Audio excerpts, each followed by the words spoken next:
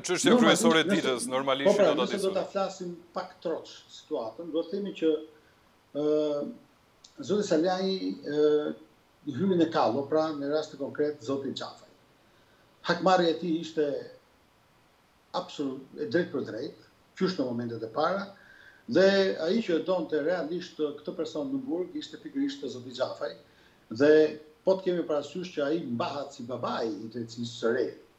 po të kemi parasysh që edhe tashmë në aspektin aktual ai është